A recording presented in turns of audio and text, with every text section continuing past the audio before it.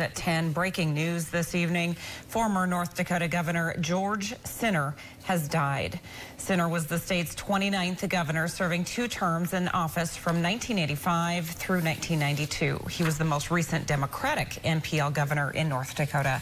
He passed away today at the Eventide Fargo Senior Living Facility. Services have yet to be announced. George Sinner was born in Fargo and raised in Casselton. In 1950, Sinner received a degree in philosophy from St. John's University in Minnesota. George Sinner was 89 years old.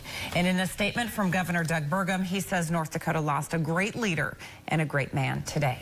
Senator Heidi Heitkamp sent us this statement. She said George Sinner was a giant of North Dakota politics. George's legacy can be found across the fields and township roads of North Dakota, but also in the devoted family he leaves behind.